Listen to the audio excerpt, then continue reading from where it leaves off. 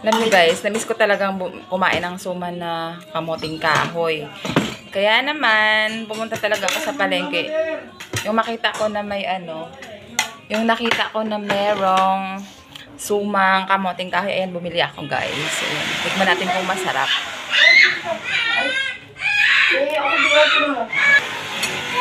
Ayan guys, masarap siya kasi meron siyang nyog sa gitna. Mm.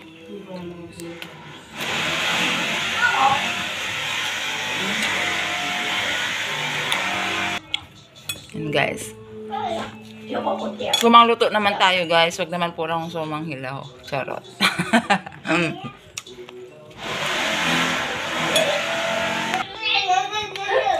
Sarap. Dalawa binili ko. Kasi mga anak ko, di naman ito kumakain ng sumang kahoy. Kamating kahoy.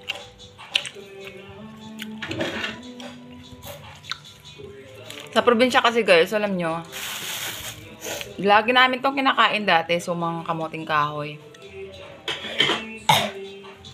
Kung hindi sumang, ano, kamuting kahoy puto.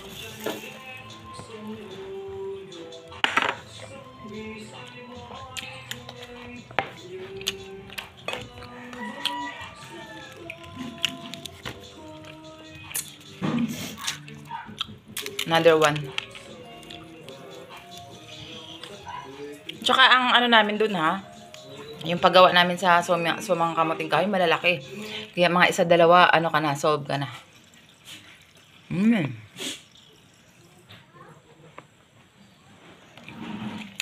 Sarap.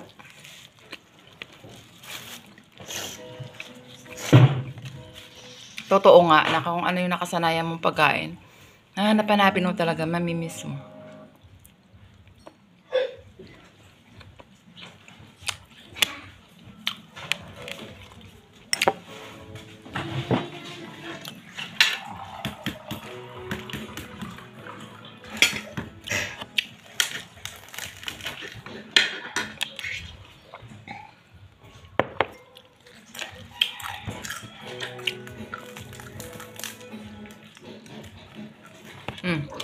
Ano sa'yo kung nakain mo? Sarap? Ubus mo na? Sarap to. Meron pa? Hindi pa.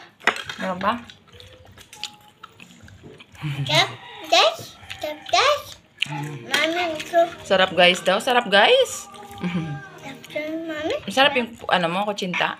Hmm, sarap to. Mm. Ayaw mo tayo. Mm. Ayaw mo tayo. Ayaw mo tayo.